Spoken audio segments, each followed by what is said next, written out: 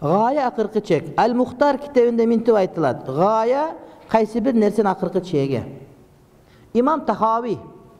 аллах тааладан чекти четке кагуунун маанисин дагы да тереңирээк ачыктоо үчүн бул сөздү бекемдөөгө киришти худут деп айтты кийин гаят деп айтты анткени аллах таала чектерден аруу дегенди тактоо үчүн ушул сөздү тереңирээк айтканга киришти дейт ал алла тааланын затында башталуу чеги жок деген мааниде анын чектелбегендигин айтып өттү анын башталуусунда чеги жок аллах таала чектердин баардыгынан аруу аны мынтип ачыктоосу яни гаят дегенди кошуп айтуусу аллах тааланын затында бүтө турган чек аралык. Акыркы чек бар анын бар болуусу ошол чек менен бүтөт деп эсептеген мужассима агымына каршы жообун дагы да күчтөндүрөт. Аллах таала алар сыпаттаган нерседен аруу мужассима айтат мына тырмачанын ичиндеги мужассиманын акыйдасы. Аллах тааланын затында бүтө турган чек аралык акыркы чек бар анын бар болуусу ошол чек менен бүтөт деп эсептеген мужассима агымына каршы жообун дагы да күчтөндүрөт анткени худут деп койсоң аны мындай деп түшүнүп коюшуң мүмкүн да гаят деп эле койсоң мындай деп түшүнүп коюшуң мүмкүн экөөнүн эки башка маани бар бирок экөөнү бир алып келгенде экөө бирин бири толуктап тастап турган себептен аны башка жака бурууга ыктымал өтө аз болуп калат ошондуктан балким ал имам тахави бул сөз менен алла таала затында биз билбеген чек менен чектелгенин айтууду каалады деген адамдын сөзү суу кечпейт жанагы мына карагыла мына тырмача турбайбы балким деген астында балким ал имам тахави бул сөз менен алла таала затында биз билбеген чек менен чектелгенин айтууну каалады деген адамдын сөзү суу кечпейт имам тахавидин ушул сөзүн имам тахавидин китебин баардык жамаатта шарх берет ошо акыйдасы бузук мужассимдер эмне деп айтышат бул айтып аткан сөзүн аллах таала чеги жок дегени биз билбеген чектерди жок деп айтты ошол өзүнүн чеги бар бирок бул жерде аллах таала чекке таандык эмес дегени биз билбеген чектерге таандык эмес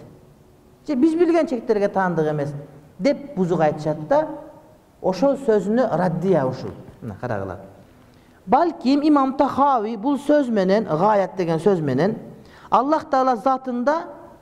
биз билбеген чек менен чектелгенин айтууну каалады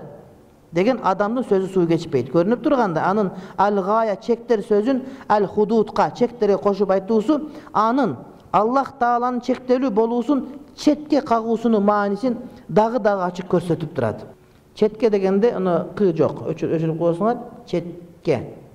четке т кны өчүрөсүңөр а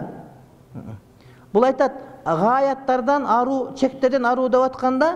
демек биз билген гаят менен биз билген чектерден аруу бирок өзүнүн чеги бар аны биз билбейбиз деп айтууну каалады ошенткен болуш керек лаллаху балким деп ушинтип айтышат азыркы эле тирүүлөр бар мужассимдер жок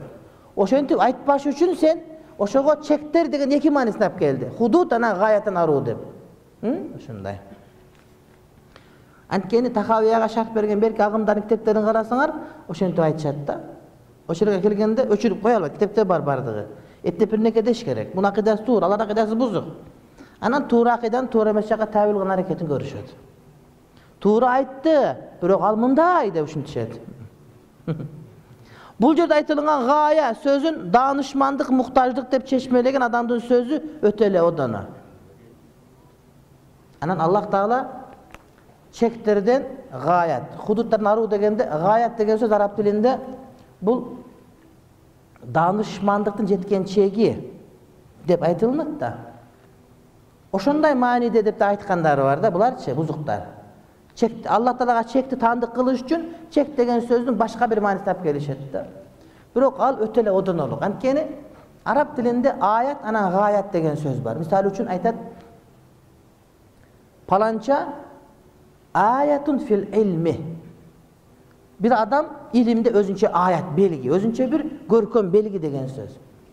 бирок жамандыкты айтканда паланча гаятун фишарри жамандыкта бул дагы бир белги жеткенчек деп атат да ал гая ал ая ушундай мааниде колдонулат жеткенчек деп имам абу ханифаны жаман көргөндөр абу ханифаны көп жакшы көрөт да баардыгы анан кээ бир жаман көргөндөрү бар баардык учурда эле ошондой аалымдарга жаман көргөндөр чыгып турат анан абу хани мактап туруп айтып атат абу ханифа кана гаятан деп айтты да айткан сөзү түшүнгөндөр абу ханифаны акмак деп айткысы келип атат бирок отургандарга гаят деп туруп үнүн көтөрүп айткан адамдар аят дегенде уксун гаят деп илимде жеткенче кыйын деп түшүнсүн деп абу ханифаны мактай тургандагы жамандай турган сөз менен колдонгондо бирөө алам айтты дейт антип айтпагын деген абу ханифа кана аятан деп айтканда ушундай сөздөр бар ошон үчүн гаят деген сөздү алла таала гаяттардан чектерден аруу деген сөздү булар гаят деген бул даанышмандык демек бул аллах таала адамдарга таандык болгон акыл эстен даанышмандыктан аруу демек чектелген деген жери жок кудайын чектелет анткени кудай таалам аршта отурат турат ошого истихар болгон ошол жерде чеги бар деп чектерден аруу дегенди жокко чыгарганга аракет кылып келишет китептен бар ошол ошон үчүн тахавиянын шархы деп көтөрүп келген китептерди баардыгын окуй бербейбиз мауляна сааттын китептерин алып келип ар ким өзү которгон китепти алып келип мына ошонуку дейт го окубайбыз ким экенин билбейбиз которгон котормочу ал эмес курани каримдин котормосун биз билбеген бирөө которсо окубайбыз ахмадилер которгон куран бар окубайбыз тыюу салганбыз окуганга болбойт деп интернетте ошол кыргызстанга биринчи жолу ахмадийди алып келген ошол таалай деген бар интернетте күнүгө азыр мени жамандап жазып атат элдин баары аны көрүп атат билип атат пакистанга окуганы барам деп аэропортко барып түшсө ошолор колуна түшүп калыптыр бир район имамы болчу илгери бир убакта азыр эми бирөөнү кайсыл район айтсаң эле капа боло берет ошо айтпай эле коеюн бир райондун баш имам хатиби болчу анан окуйм деп барып ахмадилердин колуна түшүп калып анан ахмадилерди алып келип жайган ошол адам ахмади экенин жашырбайт ачык эле айтып жүрдү ушинтип эле анан эки үч колдоочусу аны колдоп жазып атат ошон үчүн интернетте отургандар ошолор эгерде силерге таалайбек осмонов деген комментарий берсе өчүрүш керек алардын баардыгын анткени алардын бузук пикирлерин окуйм деп отуруп кирип кетишип адамдар раддия бергенде башка кылганын кереги жок.